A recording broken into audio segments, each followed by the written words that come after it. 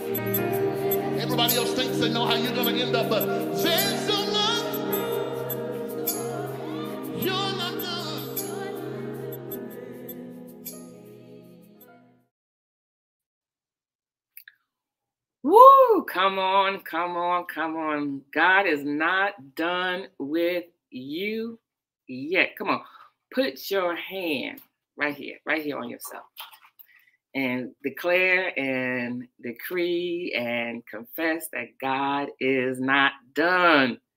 Yeah, Joanna, woo, with me yet. God is not done with me yet. There's so much more. Come on to our story. Come on. Welcome, welcome to MannaFest. Happy Friday. Yay!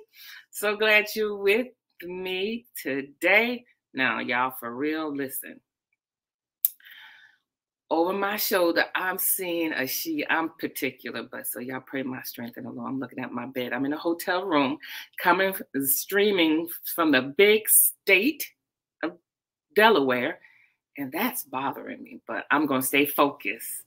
I'm going to stay focused. He is not done with me yet. Man, worship, I don't know about y'all, but today worship got me. It got me. I just, as soon as we went into the song, I mean, I saw worshiping God, um, talking to the Lord in my heart about the possibilities that there's no limit there's no limit to what God can do.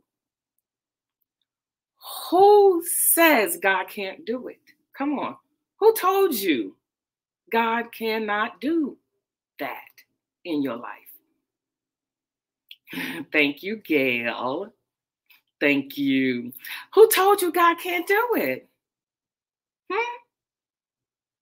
Who said it's impossible? Because with God, with God, nothing shall be impossible. That's right. There's no limit to what your God, Shanta, I confess that over you, what he can do in your life. Come on, let's take a couple of minutes and let's just open up our hearts. Open, take the lid off your faith. Okay, I don't know how it got on there, but let's take that lid off and let's truly, truly just open ourselves up to to the exceeding, the abundantly, come on, above all that we can ask or think, that God can do that thing that man will look at your life and say, Man, this is unbelievable. They would say, It's the Lord's doing. Come on, and it's marvelous in our eyes. Brenda, Oh yeah, the chair. Wait a minute, the chair, the throne chair. You like it too? My crown. Okay, let's everybody fix our crown. My crown, when I put it on my head, was tilted, but come on, let's straighten our crown out. That's right. As women, we straighten each other's crowns out. Yeah, the blue. I like this blue chair. It's cute. It's cute. Ah, oh, you saw us, uh, Rochelle. How you been, Rochelle? You doing well? Jamie, that's right. God is not done with you yet. There's so much more to your story. Ah, yes, yes, yes, yes. So, Bishop, last night wasn't service last night good? I posted it, y'all. Now, if y'all have not watched last night, we're at um, a, a, conference, actually, Faith Summit in um, Delaware. The church is prevailing. Honey, what's the name? Prevailing Prevailing Church International, you know, and um, New Castle, Delaware. The word last night was amazing, amazing. Bishop spoke on, yeah, it was fire, Lashona, um, bold faith, bold faith, and it was like it was two speakers. I didn't know how it was gonna go, but it went really, really well. I mean, um, Bishop spoke first, and then he had someone coming after him, Dr. Moore, and the word was phenomenal. It was just a powerful word. And he talked about the backside of faith. So we've been just just building our faith up on the word of God and sitting and took an all took away all the fluff, the bells and whistles, um, short praise and worship, getting right to the word. And it's been good. So that's why I'm here in um, Delaware. Yes, there's no limit to what God can do, continue to do in your life. You just got to continue to believe God. You know, Satan Satan's desire and goal is to cause us to limit what God can do in our lives. You know, as believers, He knows He lost that battle. You know, when we leave this planet, you know, and we'll transition to heaven to live with our Father in heaven. So He lost that.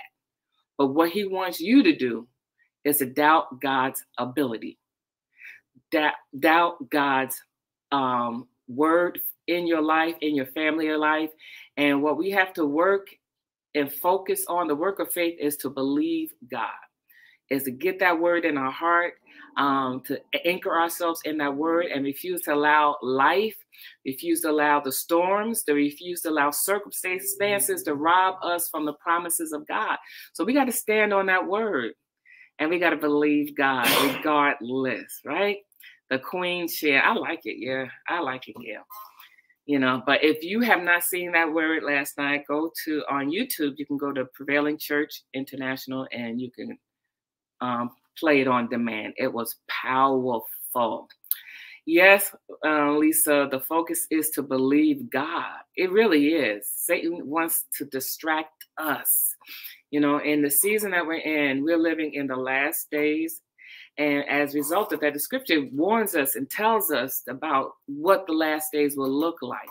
And he also speaks of, you know, deception. So when he says that, that means deception will run rampant. And Satan desires to deceive us, to get us to think thoughts that aren't true, to believe things that aren't right. And so we have to anchor ourselves in the word and we have to watch what we meditate on, what we put before our eyes, and be careful what we listen to so we don't slide into deception. Somebody say, I'm going to hold my course. I'm going to stay in the word. I'm going to continue to believe God. Nothing is impossible for my God. Amen. Nothing is impossible for my God. So I'm so happy to be with you today. Happy Friday. Yes, I have a few announcements I want to bring to your attention. And then after that, we'll take some time and um, make room to receive the offering. And the announcements are as wait a minute, I got to pull them up. Y'all left my iPad. Home. Okay, here we go. Tonight uh, in Columbia, we have marriage enrichment at 7 p.m and it's located at Family Life Center. And we do have childcare available for children, I believe, uh, school age children, I believe, school age. Uh, we're not doing infants, uh, but I believe they do like preschoolers and uh, up to fifth grade. So we do have childcare available. And when you do come and bring your children, all we ask is be a blessing to those who um, take the time out of their schedule to watch and love on our children while we gather around to enrich our marriage. And it's going to be good tonight. Of course, we do have food available um, tonight, so you know, get there on time, and um, let's let's strengthen our marriage. So that's tonight at 7 p.m. in our Family Life Center. That's for um, engaged couples. If you got a ring, you can come. Marriage, uh, engaged couples are invited to attend. Uh, also, okay, WOW is hosting women's self-defense training. Okay, in collaboration with the Orangeburg County Sheriff Department. Mark your calendars, women 18 and up, April the 20th from 10 to 12 noon. There's a QR code right there. You can scan it, and um, is WOW stands for Watch Person on the Wall okay, watchmen, because we have women too who serve on WOW, watch person on the wall, and women's first women's self-defense class. Learn how to defend yourself, learn how to be alert and sober during these times. And okay, Sunday church anniversary concert. Wow, with Miranda Curtis is going to be great. All right, it's going to be great. That's at 6 p.m. 6 p.m. All right. Seating, first come, first serve, except for those who are VIP. We got reserved seating for you, but come on out tonight and let's celebrate 28 years of God's healing, God's deliverance, God's provision, um, restoration. Um, what has He, what He has done through Right Direction Church International for 28 years. He brought us into and brought us out, and He kept us. God has been good to all of us. He has healed many. He has Um, he has propelled people into business. You know, um, there's been so much that God has done for us through Right Direction Church International. Come on, just testify right now in the comment box. What has God done for you because of Right Direction Church International? That's what we're going to celebrate about. And free concert. So come on out. Miranda um, um, Miranda Curtis is amazing. We thought good and hard. We said, who can we bring in to help us truly celebrate? And that was Miranda. So we're going to have a good time. Mother Daughters Tea. May 4th at 12:30, we celebrating the bond between mothers and daughters. The cost is only $25. Space is limited. Children are uh, can come at a discounted ticket rate. Uh, please register at imswada.org. There's a QR code right there. We extended the time uh, to register for those of us who need some more time, but it's going to be good. So um, seats are going very quick so don't wait okay? I can't help you pass the time. All right may the 4th at 12:30 it's going to be good. Amen awesome. Let's prepare to receive our offering y'all. Let's prepare to receive your our offering. I was meditating on this passage of scripture psalms 96 and um, and it reads honor and majesty are before him strength and beauty are in his sanctuary Give unto the Lord, O ye kindreds of people. Give unto the Lord glory and strength. Okay. Give unto the Lord the glory due unto his name. Now, here we go. Bring an offering and come into his courts. So every time we come together, every time we gather, uh, and of course we know we got when we come into the house of God, we just we we worship Him, we give Him praise, we give Him glory, we give Him thanksgiving. But the Scripture also speaks of that when we gather, when we come together, and here we are today, gathering around the Word today during this live stream, gathering those of you who will play this on demand later on. We're gathering around this time. And as we worshiping God and as we giving God glory, and many of us did just that during the time of worship, it also speaks of that we bring an offering. So your offering is part of your worship. You know, many people's like, well, I don't need to do that. No, the word says bring an offering as you come before God, as you come before his into his courts, as you come before the Lord, as you stand before him, as you seek him, as you worship him, as you, you know, as you get wisdom from him and counsel from him. The scripture says bring an offering. And that's what we're doing today. We're bringing our offering. Y'all are amazing. I have branded y'all women of great substance. That's who y'all are. Uh, you God has blessed the work of your hands, and you count it a privilege, you count it an honor to return your tithe and to give your offering. And we thank God for you. Because of you, we're able to do what we do at Right Direction Church International. And we thank God for you. We thank God for all of you. And there's ways for you to give. You can go to rdci.info forward slash give, or you can text RDCI to 844 624 1200 or you can mail it into our PO Box 21672, Columbia, South Carolina 29221. If you're in the area of St. Andrews, you can come to 1234, our admin office, and drop it off and say hello. Hey, Dottie. So I thank God for the MannaFest community, women of great substance, God's blessing and strengthening you and blessing the, the work of your hands. So let's pray. Father, I thank you, Lord, for every seed that is being given, every tithe that's being returned. We thank you, Lord God, that we know that it is you that give us power to get wealth. Thank you for blessing us. Thank you for being mindful of us. Thank you for increasing us more and more. So, therefore, Lord God, we give our offering. We sow this seed, God, into the ground, the right direction, Church International, and we declare and decree increase we declare breakthrough. We declare favor. We curse lack. We curse insufficiency in the name of Jesus. We declare and decree, Lord God, that this day, this is the last day that many will be in that financial situation because this is a breakout, breakthrough, break free seed time right now. And we thank you, God. We thank you, God, for breathing on us. In Jesus' name, amen.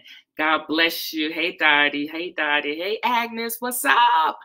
Letitia, what's going on? Hey, Minister Joyce, what's going on? Listen, God's going to breathe on you. Okay. I know I was praying that, but that just kind of landed in my spirit. God's going to breathe many of us. So, an opportunity is going to come. Don't talk yourself out of it, lean into it. Okay. You may not know how you're going to do it, you don't know how you're going to get it started, but trust God. What I'm discovering, mm, we're making things much harder than what they need to be. You've seen a lot, exposed to a lot, and you're thinking about all the stuff you need to have to do what God is calling you to do. Keep it simple, Letitia. Keep it simple, Darlene. Keep it simple, Carolyn, Joanna. Keep it simple, Dottie. Keep it simple. Just take that step and don't compare it to anything or anyone else. Trust God. All right? and watch him increase and bless you. Amen. And breathe on what you are doing. Glory to God. Hallelujah. Praise God. Somebody say, I receive that. Put that in the comment box. I receive it. That's right. Kiss. Keep it simple. Swada. Oh, Lisa. That's pretty cool. Kiss. K I S S. Keep it simple. Swada. I like that. I like that. Keep it simple. Keep it simple. So, what are you making it much harder than what it actually needs to be? Which is causing you to procrastinate, causing you to wait until you do this and that because you think you need this and that. I'm telling you, um, um, God is going to empower your going and He's going to begin to get in that movement. You just got to begin to take that step and trust God and and look towards Him to breathe on that. So by yeah, I receive it too. Breathe on my hands, Lord. Breathe on my hands. Breathe on me. Breathe on me. The best is yet to come. Hey, Bishop, say hey real quick. We saw Hi. you. No, we need to see your face. Hi. No, we can't see you. Hi. We hear you. We can't see you. Bishop is giving me a hard time. He's being uncooperative. Well, listen, let's pray. Father, I just thank you, Lord, for just breathing on this time. We thank you, God, for revelation. We thank you for wisdom. Thank you, Lord God. You show us how to practically apply this word in our lives. Thank you for insight. Thank you for ordering our steps. Thank you for keeping us. Thank you for showing yourself strong in the name of Jesus. Lord, I just lift up the women and men who are under the sound of my voice. And I thank you, Lord God, that they are blessed. Thank you, Lord, that you're ordering their steps in you. Thank you, Lord God, that you're increasing them on the right and on the left hand, Father God. Thank you, Lord God, that grace and favor is going with them and keeping them, Lord God, and making a way out of no way. Thank you, Lord God, you're surrounding us with favor like a shield. Thank you, Father, that somebody's name is in the wind in the name of Jesus. I thank you for their seed, their children, Father, that you're ordering their steps, that you're blessing them, that you're keeping them. Father, I cover them in the blood of Jesus. I cancel every demonic assignment, every demonic written charter. I decree and declare those words as written on the charter cannot come to pass, will not prosper. I declare and decree they null and void. Right now, we send them back to the sender double fold in Jesus' name. Every negative word, every hex, every incantation, every curse, those words will not produce any fruit in their lives in the name of Jesus. They dry up right now in Jesus' name. I thank you, Lord God, that we are understanding, God, that these are the days of power, these are the days of, of glory, and we have great expectation for more, that the best is yet to come. Father, thank you, God.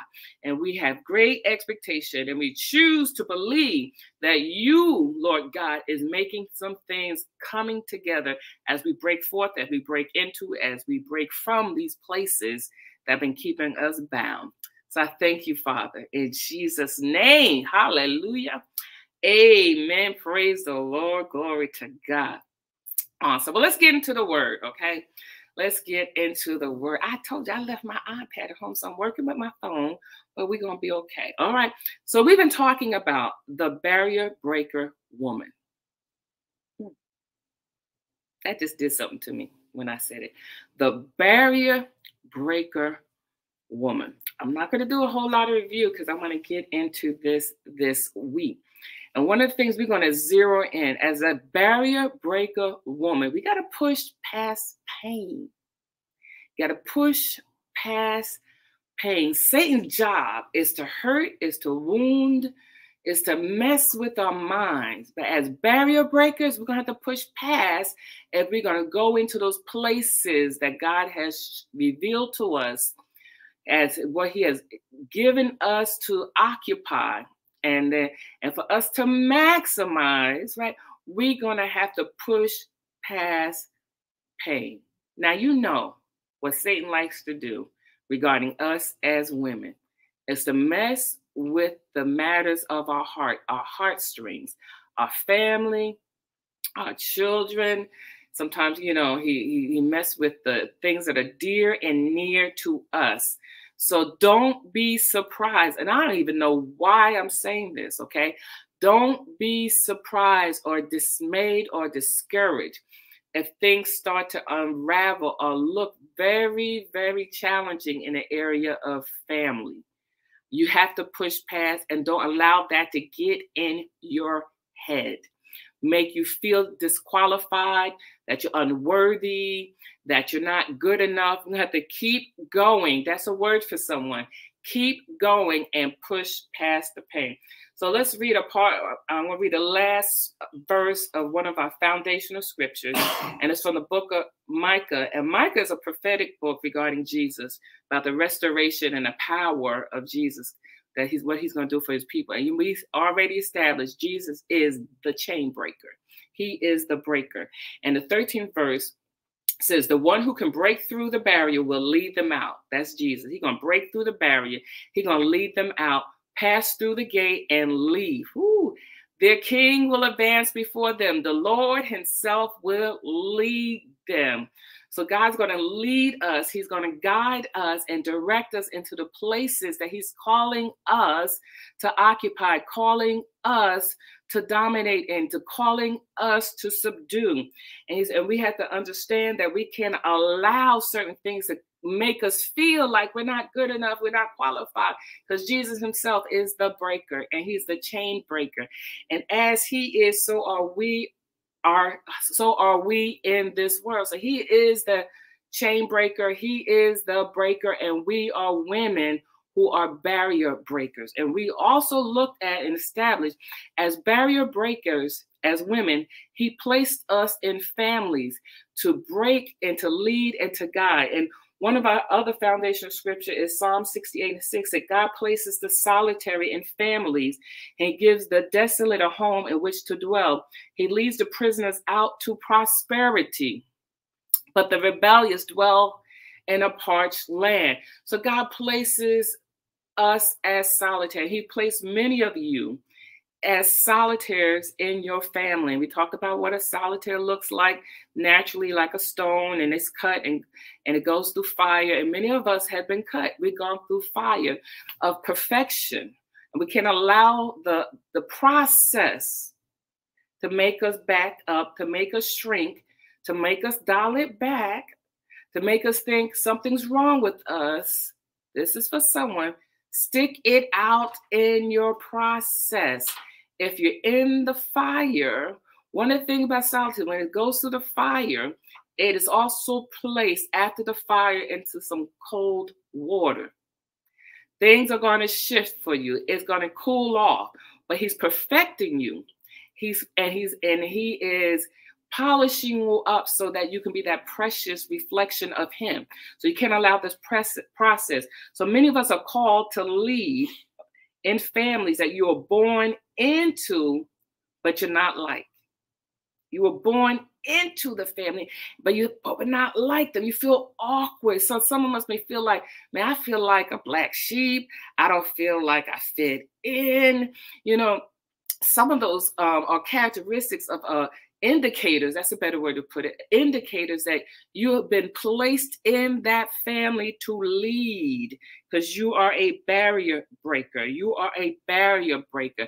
Somebody say i am a barrier breaker. I am she. Some of you are getting it right now. I'm seeing that in the comments. So you not you feel like you feel awkward. You feel like why everyone's picking on me? Why all everybody's messing with me? Why everybody always talking and rejecting me and you know and making fun of me? You were born into, but you're not like them because there's certain things that God has placed in you to lead. Yeah, you are that barrier breaker to lead that family into a place oh, that He has called that family to be in before the foundation of the world. There's a purpose, there's a plan, there's a mandate, there's an assignment that He's bringing into the bloodline. And He's given many of us the baton this season for that family to break your family out of dysfunctional cycles, to break your family out of certain patterns. Come on, and everyone may not come along, but the word already say they won't come, but they're gonna dwell in that rebellious place, okay, in that dry place, and that you know, in that place of toil, in that place of frustration. But he called you for more. He called you to more. And so, as Jesus is, so are we in this world. He was the lead breaker.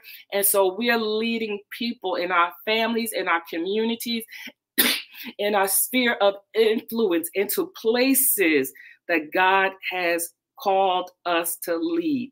Now, barrier, y'all, let's look at this word barrier. It's a fence. You know, a barrier is a fence or it's an obstacle that prevents movement or access. Yeah, you need to let that soak in, right? Right? Woo! That prevents movement or access. So, what barriers are you dealing with that's preventing movement? Does it feel like you're in a holding pattern? That's a barrier. It's like this, this cycle, it's a barrier trying to keep you in a particular place a particular place of living, particular place of being. And you're like, no, I'm not supposed to be here. Or blocking, blocking your access. Okay, blocking your access. Couple of questions here. Is God calling you to do or be or become someone that no one in your family has ever thought of? No one in your family. You haven't seen it before in your family. You're a barrier breaker. They have not done that before. God is calling you to go places to do things that nobody in your family has ever done before. You're a barrier breaker. Matter of fact, as you go to, and make steps and move towards that place that God is calling you to occupy, you'll find yourself experience distance in your relationships with some of your family members. It's, your relationship, your conversation becomes awkward. You can't share what God is doing in your life. They don't get you. They don't understand you. Some of them are even bothered by you. Don't sweat it. Don't allow that to distract you. Don't allow that to define you. That's on them and it's on what God has called you to do because you're breaking out. You made a decision. I don't want to do this like this anymore. I don't want to live like this anymore. I don't want to be like this anymore. There's more, there's better. Glory to God. God has something more for you and you you can't even you don't see it naturally but you see it in your mind's eye. You see it in your heart. He's like I know life is more. I know there's more than life than this. I know it's things are better than this. I know everybody don't have to be nasty and mean to everybody. I know life is better. You that barrier breaker. Is God challenge you to be that one in your family? Mm that you that barrier breaker do you feel like i already said in a holding pattern that there's some obstacles uh, restricting you blocking you or hindering you? Let's deal with that barrier. Refuse to allow it to stop you. Refuse to allow it to break you. That's right. Authoress you are a barrier breaker. Let's go to micah the fourth chapter here. A few more scriptures here to um, a little bit longer than the other ones um, the sixth through the tenth verse. I'm reading from the New King's translation. So, in that day, this is the day, y'all. In that day, says the Lord, I will assemble the lame. I will gather the outcast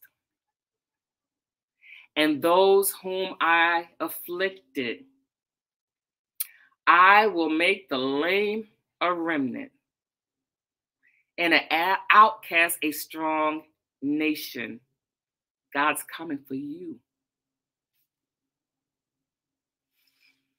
He's coming for you. So the Lord will reign over them in Mount Zion from now on, even forever. And you, O tower of flock, the stronghold of daughter of Zion, to you shall it come. Even the former dominion shall come, the kingdom of the daughter of Jerusalem. Now, why do you cry aloud? Is there no king in your midst? Is not a king there in you? Why are you crying? Why are you whining? Has your counselor perished? Mm, mm, mm. For pangs has seized you like a woman in labor. My God. Be in pain and labor to bring forth. Ooh-wee. O daughter of Zion, like a woman in birth pain. For now you shall go forth from the city, you shall dwell in the field, and to Babylon you shall go. There you shall be delivered. There the Lord will redeem you from the hand of your enemies. My goodness, that's a lot, right? That's a lot. That's a lot. But guys, I'm gathering those, okay? I, I got a purpose and a plan for those of you. And many of you feel like there's no purpose and plan for you because, you know, you know, what do I have to offer? You know, I, I'm not as smart as you know everyone else I see on social media or I don't have that degree, or I don't have that experience, or I don't have that money. I don't, I don't have it. But oh, but I, I I'm I'm a single mom, or you know, or I'm divorced, and um, you know, and my life was looked like this and what have you. You feel like an outcast. You don't feel good enough. Hmm. You don't feel worthy. God says, I'm coming for you. I got a plan for you. I got a purpose for you. I'm making you into a remnant. My God, I'm gathering you. Okay. I'm gathering you into a place and I'm going to lead you and I'm going to bring you into those places I, I called you to occupy and dominate that I promised you. But he, and he said, but there's some pain there. He said, you're crying, you're whining about some stuff. I mean, you know, and but I what I need you to do, this is this is what the Lord's speaking right now. What I need you to do is like, you know, many of you are waiting for you to stop hurting. So when the pain stops, when I get over what I've gone through, I'll do. Oh, when I get over the hurt of my divorce, when I get over the pain of my miscarriage, I'll go and minister to that woman who are believing God for children. You know what? That's how God does stuff, man. You believe in God for the same thing that God will lead you to pray for for somebody else. Woo, he's coming straight for you. And he was saying, you know, and he said, he said, I need you. Okay, you're hurt. He said, don't wait for the pain to stop. Be in pain. Like a woman in labor who becomes focused because she knows the pain is preceding the desire. That because of a child, it will be born, there's a pain associated with birth. That because, and those are labor pains. And so you don't allow the labor pains to cause you not to push. You don't allow labor pains to, to cause you not to keep travailing, you know, at the end of the labor, you will have your dream, you will have your desire. So pain precedes the desire sometimes. And many of us are waiting for the pain to cease, the things to look good in your life, the things to look perfect. Then you say, then I'll do. As I'm saying this, I'm reminded of, you know, a, a time in our lives as we was getting ready to start the ministry. One of the first things I thought that qualified us for ministry that our finances would be together. And so when my husband came to us, he said, Well, I think the Lord's calling me to start this church now. I said, Well, um, don't we need our finances together? Do we need to like do our money to be at a different place?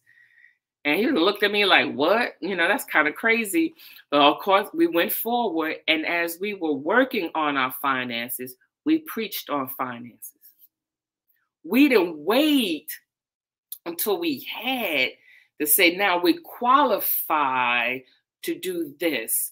And many of us, that's natural. That's natural. That's man's work. That's man's glory. That could even be pride. God said, you know what? I get glory out of your story. I get glory out of your process. He said, so we didn't wait until we got to a place. We waited on the word of the Lord. We allowed God's direction. We allowed God's green light to determine our going forward okay and so what am i saying so many of us you many of us are waiting for certain seasons to pass in your life to begin to do what god has called you to do and god says no I'm, I'm calling you now. I know you hurt because of what's going on with your child. I know you're hurt that you know that you you thought that your life will look different, but it doesn't look at all what you expected it to be. God said, be in pain and push. Push. Glory to God. Who am I talking to today? Push. Keep on pushing because you are a barrier breaker. You are a barrier breaker. God will get glory out of your story. He wants you to keep trusting Him. And in, your weakness, you're strong. Glory to God. His grace is sufficient. He's going to empower you and he's going to help you. And people are going to look at you, how? And you can't take any credit of your, yourself because God said, I will get the glory. I will get all the glory. So don't let the pain stop you. So, yeah, okay, you're divorced. Oh, okay, yeah, yeah, you know, that's some miscarriage. Okay, you had the bankruptcy. Oh, okay, you had to quit school oh, okay, this didn't come together. God say, uh-uh. And you're hurting, you're grieving over it. You're mourning over it. Maybe a loved one transition. You said, as soon as I, eh, Lord, time goes by, y'all. You said, as soon as I get finished grieving, I'll get back to it. You know, the devil will make sure if you have, God has a call and purpose on your life to be that barrier breaker, to be that solitaire in your family, he will make sure you stay in grief. And that's what you set as as your, you know, as the goal. Once I stop grieving, I will go. I had to um, facilitate, host our encounter, our first encounter a week after burying my mother. That was hard. That was one of the hardest things I ever had to do to encourage women woo, to encounter God when I was just, I was trying to find Him myself in my pain. My God. What I had to do, yes, Sandra, I had to push. I had to push past the grief. I couldn't allow the grief to to say I could not go and do. Now that's what God had called me to do. I'm not saying that you have to preach a message, but if you called to preach, sometimes we can't determine when or how or have you. You know, God is the one, and there was no pressure from outside, my husband or anybody. Um, Pastor Mary was um my, was there, and she said, "I got you, sis. If you need me, I got you." And but I went in and I asked God and I prayed, and the Lord said, "Marcia, if you don't do this, you're gonna be stuck." If you don't do this, you're going to need people to come and get you. You're going to need deliverance. I need you to preach your way through. And I just got up there and, and was vulnerable and transparent.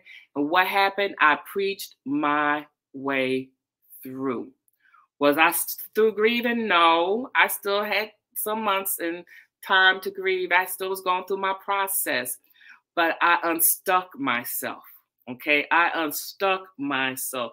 And somebody here today, if you don't, um, don't allow the pain to stop you, you get unstuck right now. You make a decision and say, Father, right now, I, I'm not going to let the pain stop me. That thing that has lodged on the inside of you will become loose. Satan wants you to be too bruised, too broken to be a barrier breaker. He wants you to be too bruised. That's right, Teresa. You're still here. Too bruised, too broken to be a barrier breaker. So, what we have to do, and someone said this earlier about focus. You know, we can't focus. He wants you to focus on your bruise, but we don't.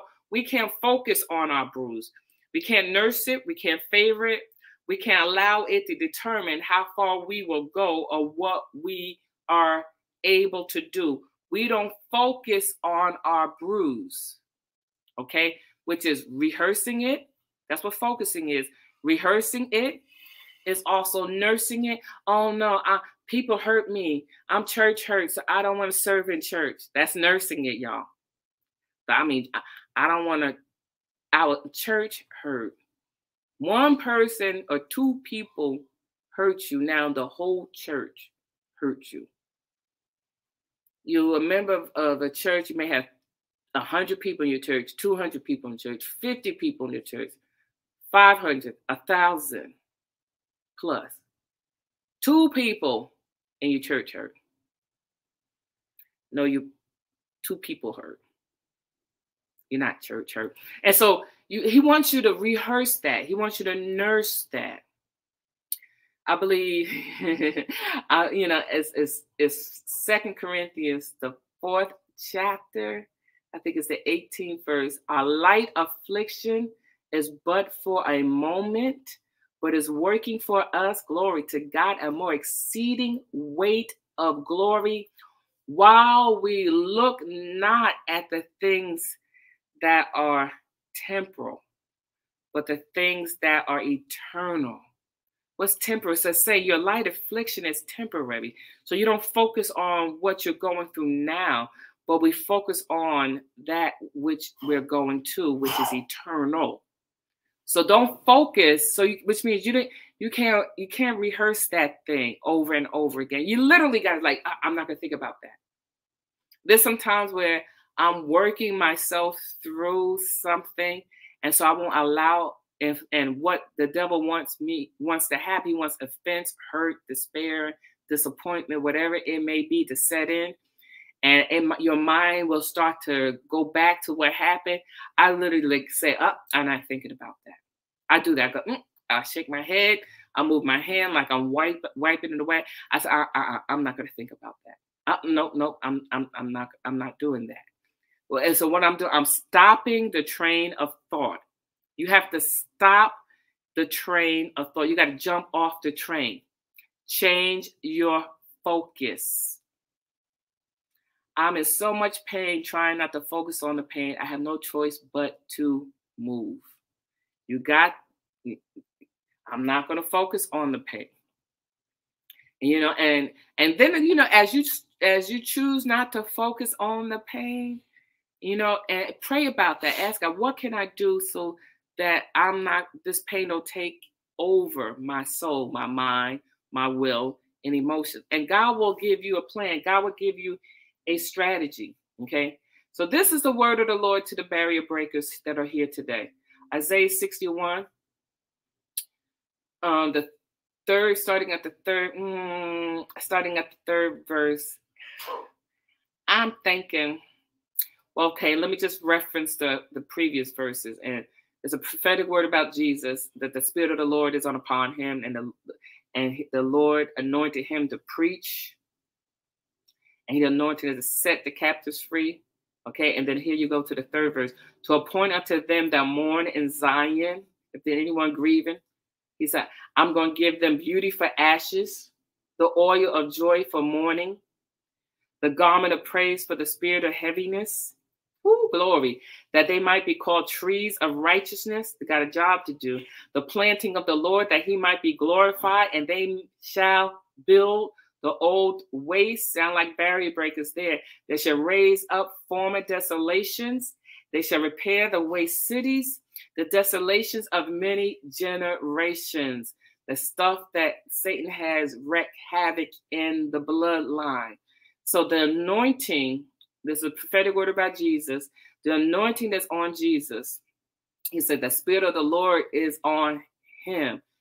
And he has anointed him to set the captives free and it, and then uh, and to give unto them beauty for ashes okay if you're dealing with anything in your life you feel like this has been burned by Satan, fire, hell came for this, and there's no ashes. I'm gonna give you beauty for that. I'm gonna give you joy for your mourning you know and I, I have a garment of praise for you for your spirit of heaviness. So anybody dealing with heaviness just begin to give god praise. Put on that garment of praise.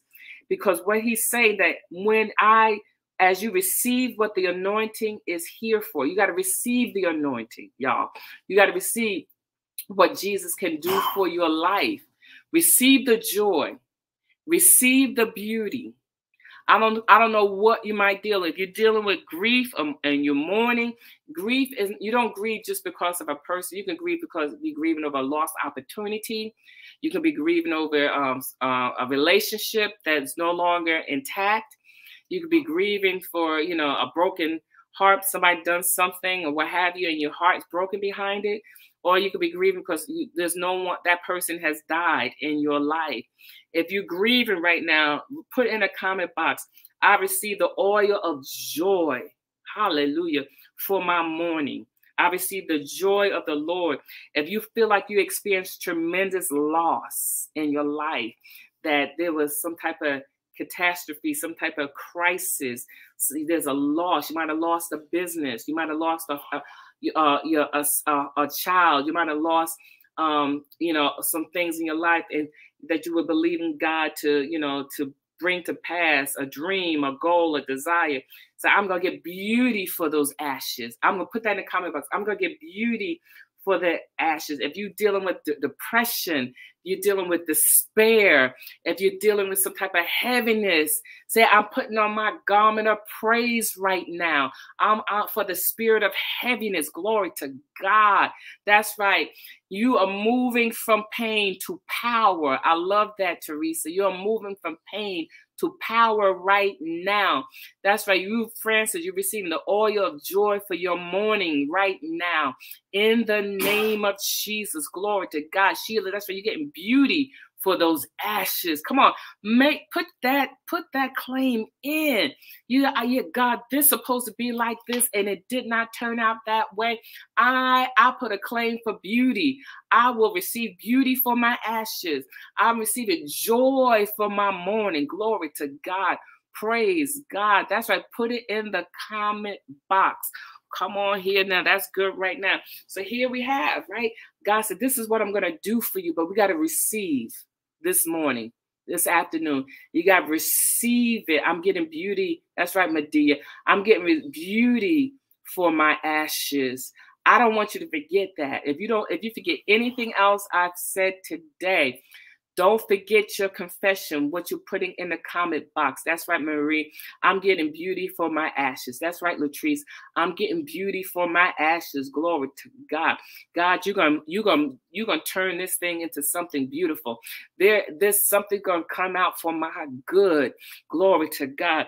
You're gonna work it out you're going you're going to shift the, the the the the landscape of this thing here. What was once looking ugly um, giving me grief you're going to turn it into something beautiful. Glory to god. That's right lavette you're receiving joy for your mourning praise god. Latoya beauty for the ashes. Shanta in the name of jesus beauty for your ashes. That's right lashawn i'm getting beauty for my ashes so this is what God said I'm going to do in your life. As barrier breaker women, you you go to God. So God, this is the situation. This is what I'm dealing with. This is how I'm feeling. I, I'm I'm standing on this word. You sent your son Jesus, glory to God, for me to destroy the works of the devil. And he is the chain breaker.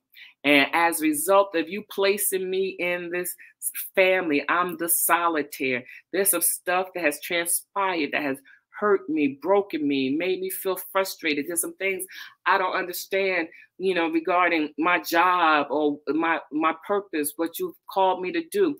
But what I do know that you said that you'll give me beauty for ashes. You said you'll give the oil of joy for my mourning. Praise God. Because he's saying for us, as we receive this, he said, You shall raise up former desolation. That God's going to use us to restore. He's going to use us to repair. He's going to use us to build. And, and we can't wait until we, everything looks perfect in our lives. We receive the finished works of Jesus Christ, what he's already done in our life. We receive it by faith. God, this is what your word says, and I receive it. And I therefore I thank you, Lord God, that you are working this thing out within my soul. And now I'm going to trust you to empower me to do those things you called me to do. Let's take a look at a at, at a woman who was who she herself was a barrier breaker, but she had to get over some stuff. This is stuff she went through. And that you can find this woman's story in the book of Ruth. This is Naomi. Okay. Na- Naomi was widow. She was homeless. She was broken. She was bitter. She was lost. She was depressed because of the death of her husband and her two sons. She, women back then, if you didn't have a husband, you didn't have anything. And so she was she was traveling back to her hometown. And she had two daughter-in-laws with her. And she looked at them, she was like, look here, I can't offer you nothing. I said, I got nothing. I got nothing for you, girls. You might you need to go back to your own people, go back to your family. Because if I would if I would find another man and, and have a child, which was their right. And by the time he grow up, y'all be old woman, and he can't marry y'all. So y'all need to go ahead back to your family. And one left, Oprah, Oprah left, and Ruth stayed. She's like, she's like, no, don't ask me to leave you. I'm your ride and die daughter in love.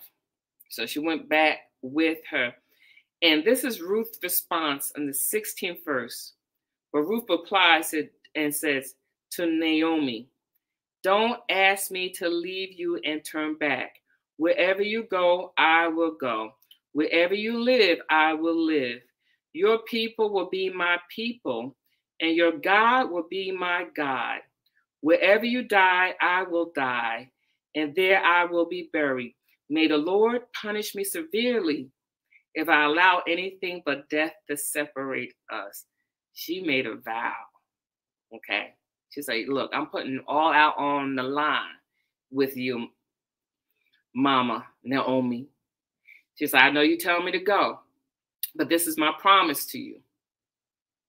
He said, This is my promise to you. And if I, if I look like I'm veering off of it, may God deal with me.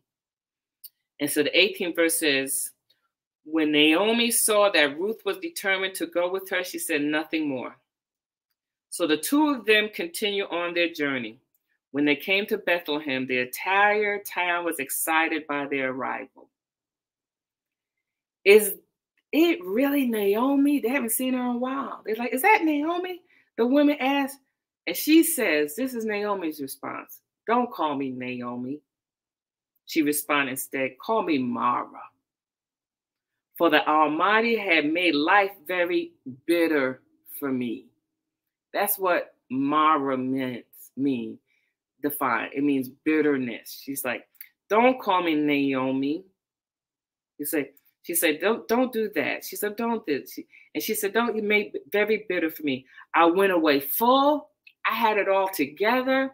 I had it going on. I was blessed. I mean, I was living a good life, but then the Lord has brought me home empty. I left full and I came back with nothing. Why call me Naomi? Which means the word means beautiful, I believe. Naomi means pleasant. Oh, wait a minute. Wait a minute. She said, Don't call me pleasant. I'm bitter. Who has what you gone through made you bitter? Has what you've gone through made you difficult? Are you a little irritated on the regular for no reason? There may be a root of bitterness. How you've been handled, how yeah, how you've been treated that cause an automatic response out of you. She's like, don't call me pleasant. I'm bitter. Sometimes we can go through stuff and go through stuff and it just changes us. And you know, is and sometimes you don't even think about it. It becomes a part of you. And she says, I'm I'm not that pleasant chick anymore. I'm the bitter one. I'm the irritated one. I'm the nasty one. I'm the I'm the moody one. Oh, somebody said, "Yep, I'm mad." oh, yeah. well, it's good that we recognize, right? She's like, look, said, don't. I just, She said, because the Almighty God, He caused me to suffer. He's like, and sent a tragedy upon me. So the Lord, it, the Lord don't love me. God don't love me. If He loved me, I wouldn't be, I wouldn't have gone through what I've gone through. If He loved me, my life would look different. Woo. If He loved me, things would have turned out differently and unknowingly y'all listen my sisters when we when we think like that and when we say those words to ourselves it can start creating fruit of bitterness within us. And when we just we see things in a negative way. We see the glass half empty.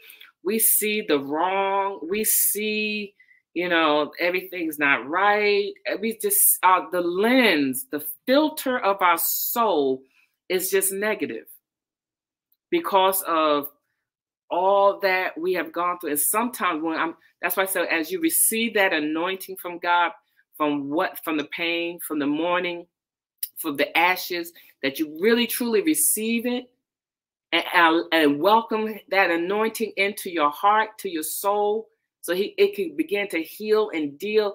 It will uproot that bitterness. It will uproot those things that's still festering, that has not been dealt with, that has not been healed by the presence of God, that you just pushed past it. You just ignored it. You just, you know, you just kind of like glossed over it. Guys, I, I want that thing. I want that thing, you know, that you just ignored. He said, I know I want you to keep moving, but I also want to heal that. I don't want that thing to unknowingly make you a bitter person. Oh, y'all talking truth here today. Yeah, he wants to heal that. I mean, life is is you know, life be life, and that's what the kids be saying, y'all. Life be life, and and it's designed really it's really designed satan really designed. He just he starts the process and sometimes it's just automatic. You know he's he is just set. You know i've been thinking about this. Okay i'm getting ready to digress a little bit.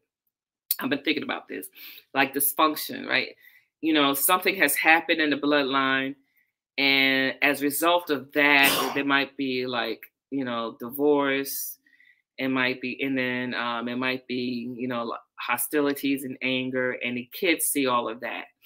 And even though they grow up and their situation is different there's learned behavior from that household. And so unknowingly even though they may be in a situation that's completely different they can reproduce the atmosphere of their uh, of their childhood life by, by the behavior.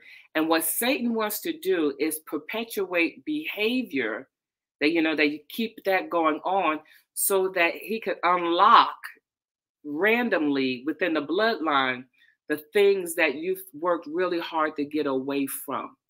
Until those behaviors are truly addressed and changed, you unknowingly have the atmosphere of that dysfunction in your life, even though you're no longer there in the dysfunction. So that's why you got to invite and receive that anointing. Okay, are y'all with me? Say, I'm with you. I want to make sure you're with me. You say, you got to receive that anointing that's on Jesus, not only to prosper you, not only to heal your of disease, but to heal your soul so that that thing that God wants to you to be to lead your family out of talk about you the barrier breaker woman. He wants you to lead your family out of those barriers of containment. You know dysfunction are containers those are barriers too and so he wants you to get victory over those things by no longer acting like where you came from Are you still sounding like your people? Ooh, all right, all right, all right. So he said, I, I truly want to break you out of those things. So she's like, I'm bitter. Now, mind you, she back, she back with her people, but all of what she gone through is still with her. So Naomi had to break out of that barrier of her life experience, of her pain, of her disappointment, so it no longer be the filter of how she's seeing life. Okay, because she had a job to do.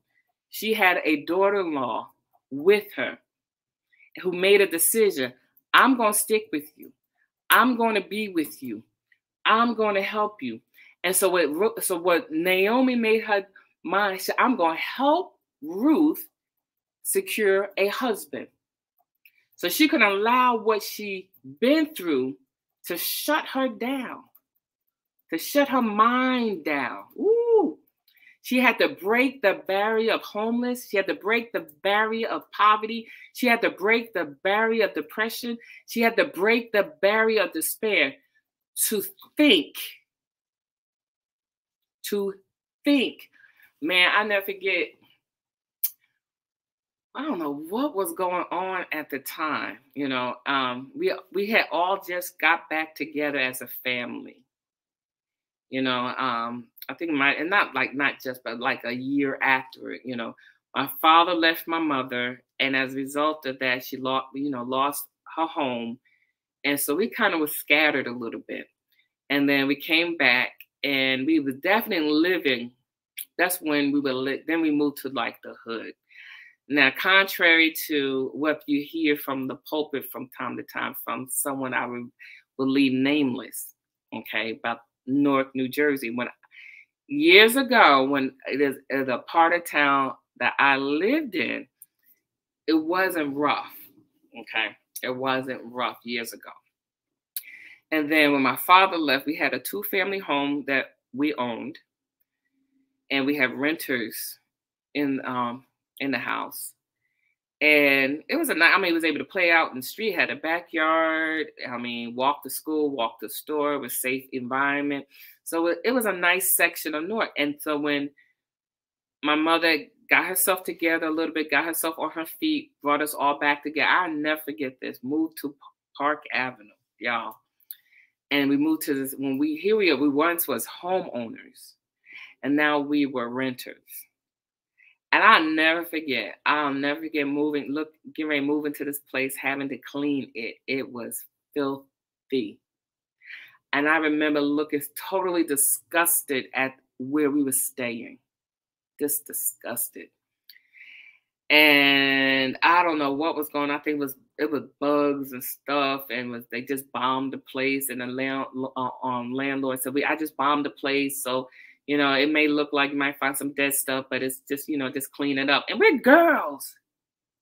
We're girls. We haven't cleaned this place up. And I'll never forget it. I think I was like upset and irritated and crying. And my mother said, Marcia, so she said, I need you not to allow all of this to cause you not to be able to think. She said, cry, but you got to think. She should be upset, but you got to think. Be hurt and angry, but you got to think. She said the worst thing you can ever do is stop thinking. She said, You got to use your mind. I'll never forget that. So as I'm like crying and upset, I mean, I, where my stuff at? Where my things? We were displaced. We were literally starting over. Starting over. And she said, Marcia, I need you to get yourself together. I need you to think. You could do, do all of that, but I, you got don't lose the ability to think. I will never forget that. And so here you have Naomi had to think because she had Ruth. You know, my mom had a nervous, I believe, I mean, I'm just putting pieces together. I believe she kind of had a nervous breakdown at the time. And so, um, which is why she was gone. I don't know for sure per se, but I remember seeing her in a hospital. I remember that's what made me put things together. And she was speaking from a place of truth. Ooh, my God, my mother was speaking from a place from truth.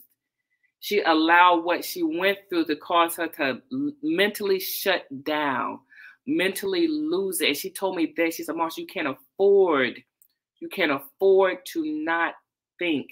So she finally got to a place, she was getting herself back on her feet, did the best she could. It was really, I mean, it was such a step down for us, but here we are. We got to think. And this is um, Naomi. She's like, I got a mentor, Ruth. I got a mother, Ruth. I got instruct and guide her and position her to be found as a wife. I need her to be able to find a husband. Yeah, you, you know, emotions are something that God does. He, he blessed us with emotions, Allison. He has blessed us with emotions, but we got to manage them. Okay, we got to manage these emotions so these emotions don't take us to left field because then you lose time. Okay. You know, so she's like, you know, have your moment. So what you got to do, work on having that moment, right? Have that release that you need. Take that release, take that moment. But as you tell, as you're in that place of having that release, having that moment, tell yourself, say, Allison, this hurts. Allison, this ain't fair. Allison, this this is my word I use. You know, my husband don't like it sometimes. This sucks but get get it together. Get it together. Get get it together. Manage my, your emotions so it'll have you saying something, doing something that you regret. Emo, I mean, the, the message last night, one of the messages last night was was so powerful and talking about the backside of faith. If y'all go back and listen to it, it'll be really good for you. But one of the things they talked about is said what happens that you know that causes us to quit, causes us to give up. And one of the things is unmanaged emotions. Unmanaged emotions will cause you to quit on relationships, cause you to quit out on, on purpose, cause you quit and leave a church, cause you quit and leave your husband, cause you quit and leave your, uh, your, your mentors, your friends, people who God ordained to be in your life because you're feeling some kind of way. Some kind of way. And so that was a pivotal moment for me with my mom, you know, sharing that with me. She's like, you know, and she's like, she gave me, you know, she had three girls and one and one boy. She gave us the right to feel. She gave us the right to feel. She said, cry. Okay. You know, it's I get it, cry, be sad, but think your way through it. Think your way through. She said, don't allow your emotions cause you to mentally shut down. Don't allow your emotions to make you, you know, cause you to make a decision you should not make. How many y'all made decisions that you know you should not have made? And you were just being emotional, that you said something you did something, you left somewhere. Mm. So you got to manage those emotions. And that's what uh, Naomi had to do. She had to get herself together. I got to find this girl a husband. I got to mentor her. And check this out. She couldn't mentor her through her from her pain, from her, her pain place. She had to mentor her from a purpose place. Yeah, yeah, yeah. So she had to mentor her. And the, the amazing thing is, Ruth had to position herself to receive. So when you're dealing with stuff, you've gone through some stuff, you got to position yourself so that you can allow what you've gone through to block your hearing, block your vision, and block your heart. That's good right there.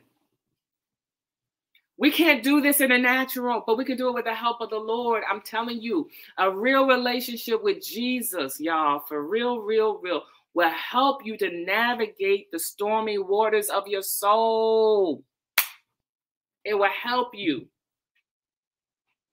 You cry out to God, you talk to Jesus about this thing, you lay it out there. He'll show you what's what and what's not. And you can say, God, you know, I'm feeling some kind of way. I'm not thinking clearly. How should I see this thing? What should I, how should I respond? And he will help you to see your way through. So she instructed Ruth, okay, what she need to do to find a husband.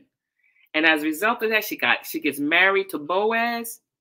She has a child named Obed, who is the grandfather of David. So she was a barrier breaker. Here you have Ruth, an outsider from another tribe, another nation, through her obedience, through Naomi's impartation, Naomi, Naomi's instruction, Naomi's mentorship breaks the barrier of limits in her life, and now she is a she she shifts the trajectory of her bloodline. Ooh, this is so good to me. Bless my soul. Shifts the trajectory of her bloodline. That's a barrier breaker. So, as a barrier breaker, my sister, you listen here. You got to stay determined. not allow the pain to subdue your faith. Can't allow the pain to subdue your faith.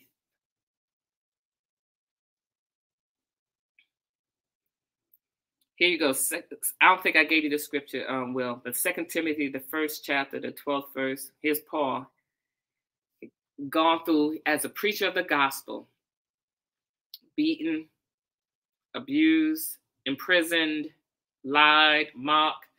And he says, This is why I suffer as I do. Still, I am not ashamed, for I know him, and I'm personally acquainted with him whom I have believed with absolute trust and confidence in him and in the truth of his deity. And I'm persuaded beyond any doubt that he is able to guard that which I've entrusted to him until that day when I stand before him. That's the Amplified Translation. He said, I'm going through some stuff. I'm suffering. I'm in pain. But I'm going to push past it and still preach the gospel. I'm still going to do what God told me to do. Woo! Are you still doing what God has has called you to do and told you to do? Are you still remaining faithful? Somebody said, Well, I'm going through so much, I can't go to church. No, you got to go to church. You need to be in the atmosphere. That's what Satan wants you to do. He wants you to allow your circumstances to speak to you, tell you what you can't do. No, you can't do it. No, you is life too hard. No, this is too it's too much. No push past all that, keep showing up. You have to be determined. We can't be determined over here, but then we want to be determined in doing some things that you feel like, you know, God has called me to do this great thing and I'm going to do it. But you can't show faithfulness over here and you expect faithfulness to come out of there. You can't departmentalize faithfulness. You can't departmentalize determination. You can't departmentalize grit. Yeah, sometimes the decision to freeze and not face it, it costs you time. It'll cost you time. So here you have Paul's able to do what he's what God has called him to do because he had a real relationship. He said, I'm not ashamed because I know, I know him, I know him, I know who God is. I know he's a healer. I know he's a, uh, you know, he's a provider. I know who he is. And he's fully persuaded, regardless of the circumstance, regardless of the situation. I am fully persuaded that he'll do what he said he's going to do. Real relationship births steadfastness, it produces consistency, it produces stability. Okay, last scripture for the day. Because you break barriers by faith. Do you know God? Do you know who He is? Do you believe that He is faithful? Do you believe that He has the power? We started back where we started, back where we started. That we that we talked about before we even got into the word. That we know He's able from worship. He's able to do the impossible.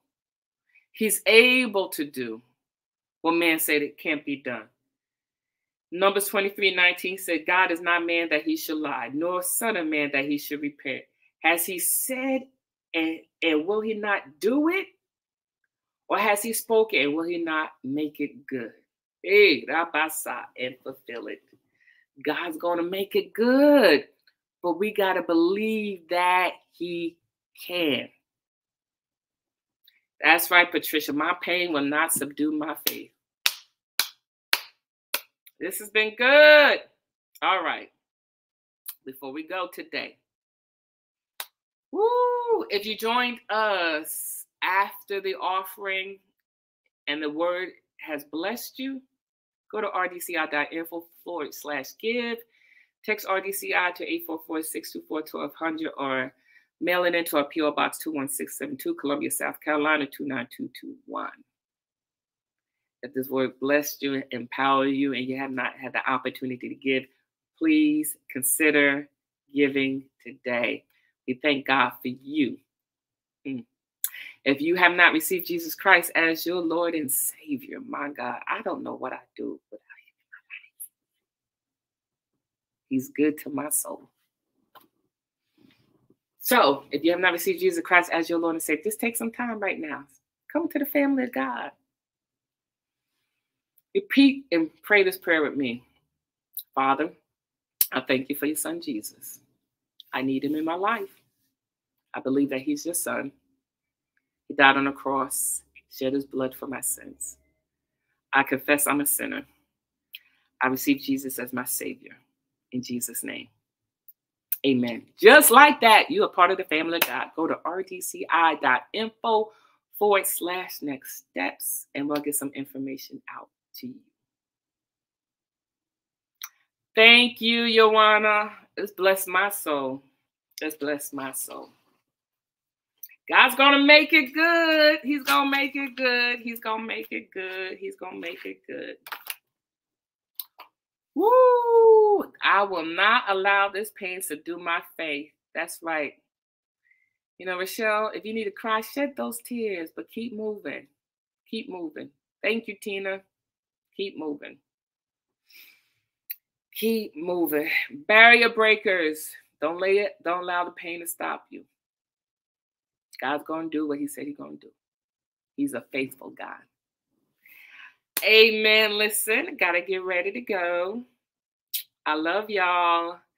Your barrier breakers. Listen, if you can join us tonight, um, do just that. Go to Prevailing Church International YouTube page at 7 p.m. It's going to be great. The words good. My husband, Dr. Moore, fire. Great word. Awesome. Love y'all. Gonna be home this weekend. Yep. I'll see y'all Sunday. We'll be in the house. We're gonna celebrate the concert tonight. Um, no, Sunday night. It's gonna be a good, good Sunday. It's gonna be a great atmosphere. Awesome. How's the weather before we go? How's the weather in Columbia, South Carolina? Is it? I'm a little cold. I don't know what I was thinking, but I'm a little cold. All right, y'all be blessed and um, enjoy your weekend. Uh, see you Sunday. See you Friday night. Um, it's going to be hot. That's right. It's gonna. It's hot. That's right. That's right. All right, y'all.